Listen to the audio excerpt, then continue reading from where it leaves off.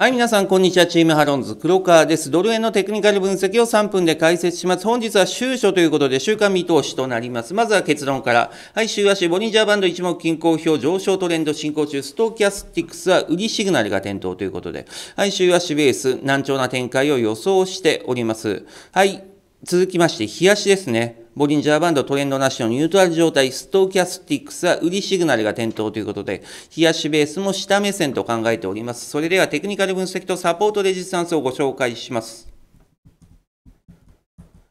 はい、まずは、週足ボリンジャーバンド、上昇トレンドの形状をしております。はい、ストーキャスティックス、変わりすぎな判断基準であります80%ラインを超えて、売りシグナルが点灯ということです。はい、続きまして、週足一目均衡表。こちらも上昇トレンドの形状をしております。はい、最後。日足のボリンジャーバンド。トレンドの方向性を示す赤い点線21日移動平均線真横を向いております。そんな中、まあ、ローソク足やと言いますと、この21日移動平均線を下抜けトライ中ということで、トレンドがない中、まあ、あの若干下落バイアスが強いのかなという感じがしております。はい、続きまして、ストキャスティックス。売りシグナルが点灯中。さらにはパーセント D、パーセントスロー D、この2つのラインが、まあ、鋭角に下落ということで、現在強い売りシグナルが点灯中ということです。はい、それでは今週のサポートレジスタンスをご紹介したいと思いますが、はい、その前にですね、ちょっとあの節目のラインを引いていこうと思います。はい、はい、3月31日からの3月31日からの上昇に対してフィボナッチを引きました。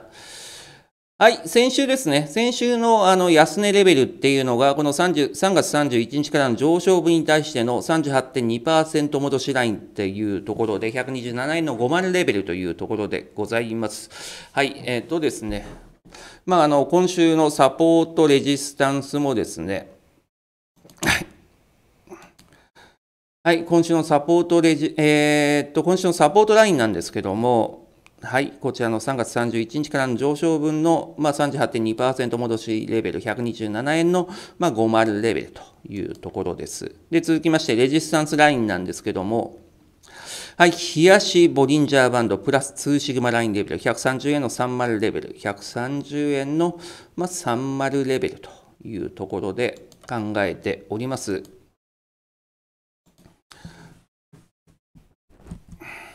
はい、今週の予想レンジ127円の5万レベルから130円の30レベルということです。ポイントですね、売りシグナル点灯、調整売り継続ということなんですけども、はい、週足、日足のストキャスティックス強い売りシグナルが点灯しております。さらには、まあ、日足、ボリンジャーバンドトレンドがありませんが、現在、ローソク足がセンターライン21日移動平均線を下抜けトライ中ということで、売りバイアスが強い状況ということです。